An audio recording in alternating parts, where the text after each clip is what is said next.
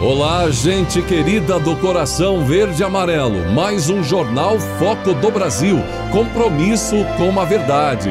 E pergunto: de qual lugar maravilhoso do Brasil ou do mundo você nos assiste? Comente, deixe sua opinião, participe ainda do chat ao vivo. E é importante ver se o sino de notificações está ativado. Só com ele ativado você recebe nossas atualizações diárias. E vamos agora às notícias desta edição. O presidente Jair Bolsonaro teve agenda nesta sexta-feira pela região nordeste do país. Ele participou na Bahia da cerimônia de assinatura da concessão da Ferrovia de Integração Oeste-Leste, a FIOL, no município de Itanhaçu, na Bahia.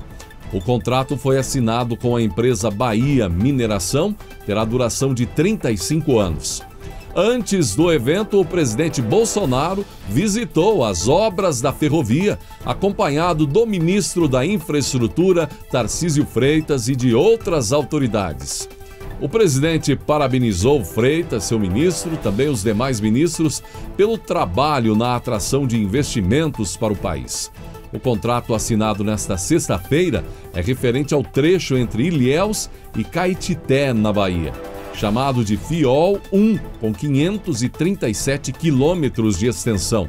A expectativa é que a FIOL 1 comece a operar em 2025, transportando mais de 18 milhões de toneladas de carga. Em um primeiro momento, 16 locomotivas e 1.400 vagões estarão em operação, dos quais pelo menos 1.100 serão destinados ao escoamento de minério de ferro que transforme a vida das pessoas, que elas possam dar um salto e que isso seja sustentável.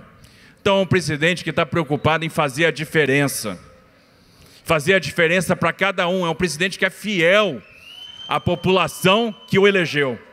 E dá muito gosto de trabalhar com um presidente assim. E a gente aí tem a liberdade, que é tão importante, tão cara, para criar, para ousar, para montar equipe, uma equipe profissional que proporcionou isso aqui para nós.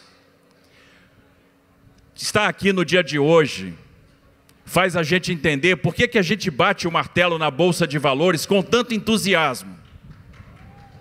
Sabe por que, que a gente bate com força o martelo? É porque aquela batida de martelo vira isso aqui, ó. Vira obra. Esse governo está concluindo obras que são essenciais para a nação brasileira. Essa que é a verdade. Agora eu vou dizer só mais um dado que eu não vou deixar passar nem de jeito nem de maneira. Só para lembrar a vocês que o dinheiro que o governo federal mandou para prefeituras e governos estaduais dava para fazer mais de 40 mil leitos de UTI de ponta e evitado a morte de milhares de brasileiros na pandemia e foi roubado o dinheiro na maior safadeza. Vocês querem um exemplo? O governador da Bahia nomeou um ladrão. Ó, eu estou chamando aqui, manda ele me processar. O governador da Bahia. O governador da Bahia nomeou um ladrão chamado Carlos Gabar. Me processa, vagabundo. Sabe o que, é que esse cara fez? Sabe o que, é que esse cara fez? Comprou 49 milhões e pagou à vista de respiradores de uma empresa de maconha os respiradores nunca chegaram. Vocês já pensaram quantos baianos e nordestinos morreram por causa de um vagabundo canalha desse? E aí, para terminar aqui o meu tempo, e aí a CPI da safadeza protege esse vagabundo, porque a casa cai de governador e de gente aqui do Nordeste. E depois quer acusar que o presidente não fez nada pela pandemia. Ah, vamos parar com isso, minha gente. Passando por aqui, ouvindo quem me antecedeu, a certeza, a fé e a confiança no povo brasileiro. Essas pessoas, para poderem trabalhar, como o Tarcísio e o João Roma, o nosso querido baiano, eu dei para eles também a total liberdade. Porque acredito na responsabilidade de cada um deles.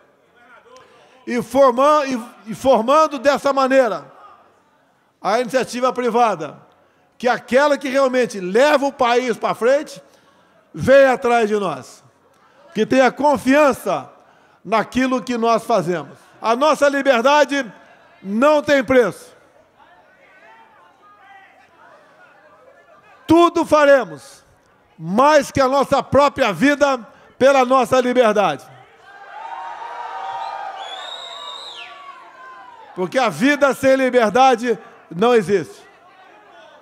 Se Deus quiser, no próximo dia 7, estarei pela manhã na esplanada dos ministérios e à tarde na Avenida Paulista, lá no estado de São Paulo.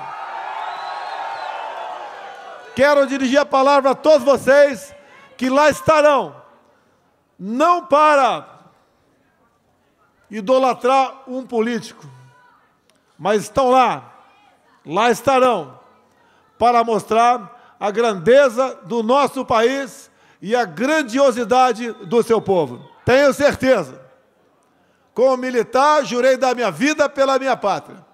Assim como todos vocês. Mais que juraram, no seu subconsciente até, dar a sua vida pela sua liberdade. Vamos derrotar aqueles que querem nos levar para o caminho da Venezuela. Não conseguirão. Nós somos a maioria, somos pessoas de bem estamos do lado certo e respeitamos as regras do jogo. Juntos nós seremos vitoriosos. Pode ter certeza. Peço uma coisa a Deus, além de sabedoria e de coragem para decidir. Que eu realmente possa, no futuro, lá, lá adiante, bem distante, entregar um Brasil bem melhor do que aquele que recebi em janeiro de 2019.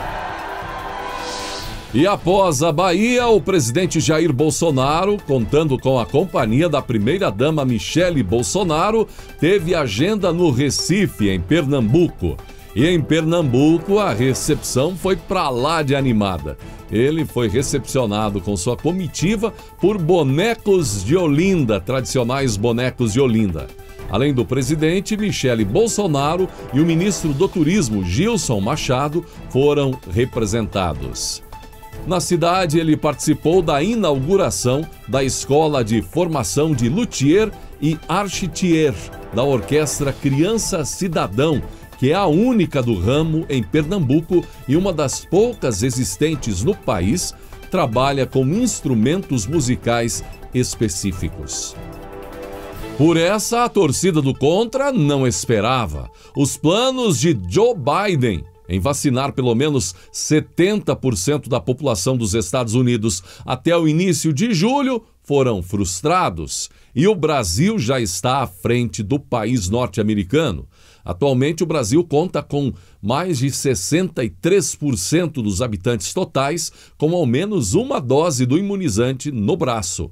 O Programa Nacional de Imunizações, na estrutura do SUS, do governo federal, Ministério da Saúde, tem a confiança do brasileiro nas ações do Ministério frustrando a oposição ao governo Bolsonaro, que tem criticado diuturnamente o presidente justamente da questão vacinação contra a Covid-19, mesmo agora o Brasil estando à frente dos Estados Unidos em percentual de população com a primeira dose e também sendo desde o primeiro trimestre do ano o quarto país do mundo que mais aplicou doses. Na avaliação do Ministério da Saúde, o avanço da vacinação traz resultados positivos. Um dos principais é a queda na taxa de ocupação dos leitos de Covid-19 de enfermaria e UTI, que já está abaixo de 50% e dentro dos padrões de normalidade em 19 estados do país. As médias móveis de casos e óbitos também estão em queda e registraram nos últimos dois meses redução de 61% e 60%, respectivamente. Mesmo com esses dados positivos, a oposição não deixa de atacar Bolsonaro e o seu governo.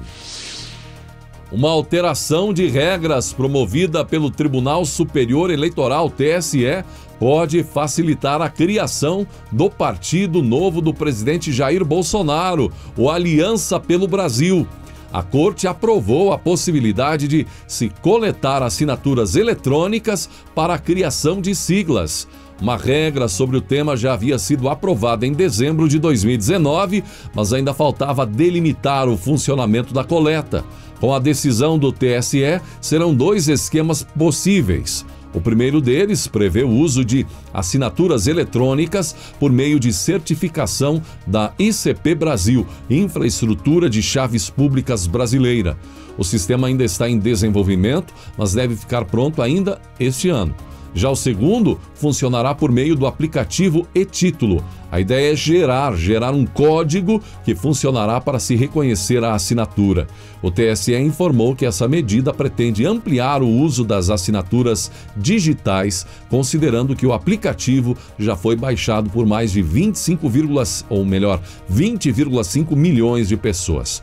Para se obter o registro no TSE, o partido deve conseguir um total de 491.967 nomes, assinaturas em pelo menos nove estados.